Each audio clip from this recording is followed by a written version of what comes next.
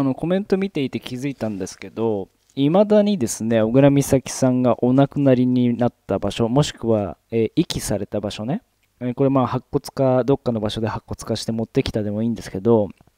それが枯れ沢だというふうに思っている人がいたならば、それは違いますよというのが2022年の9月の21か22かちょっと忘れましたけど、その時にもうすでにあの発表されてるわけ。それ違いますよって言ってるのは警察と遺族なんですよ。だからその場所っていうのは警察と遺族の間で確認されている、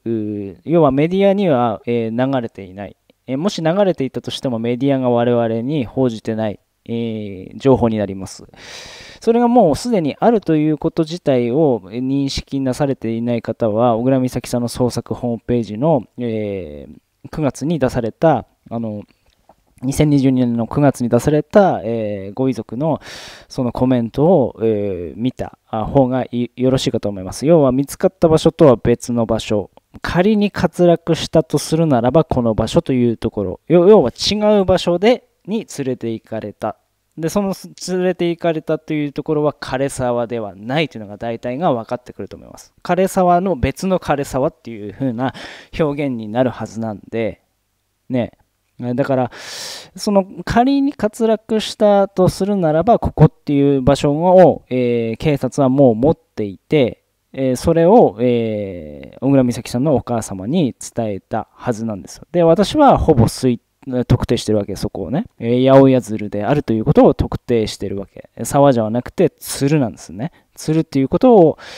え特定してるわけですけど、えまあ、あのどちらもね、私も、あまあ、この場所でしょうねっていうふうに、合理的に考えたら、えーこの場所っていうのを私はそういうふうに思ってるわけで、で、警察もね、えー山梨県警の奥脇さんが合理的に考えたらこの場所っていうところがあるはずなので、そこが一致してるかどうかは、それは知りません。ただし、一つ言えるのは、見つかった場所とお亡くなりになった場所、もしくは遺棄された場所とは違う場所ね。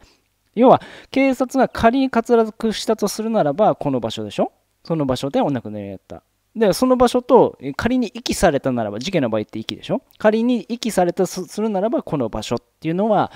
一致してないと変だよね。そもそもね。事件と事故と両面で捜査していて、合理的に考えて、もうすでに捜索を打ち切ってるわけですから、だから違う場所であったならば、違う場所をそれぞれご案内しないといけないわけ。小倉美咲様のお母様に違う場所をご案内しないといけない。両面で捜査してたらね。でもその一箇所にしか行っていない。で、仮に、えー滑落したとするならば、この場所って連れてくってことはもう警察はもう事故としてしか捜査してないというのは悪分かりのやつが間接的に分かっちゃうわけ。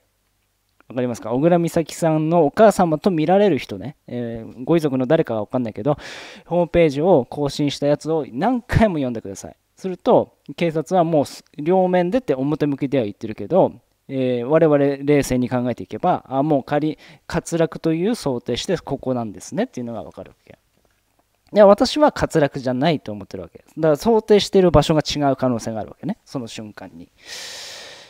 えーもし一緒だったとしても、えーその、えー死因の想定が違うわけ。え警察、山梨県警は滑落。私は低体温。えまあ以上です。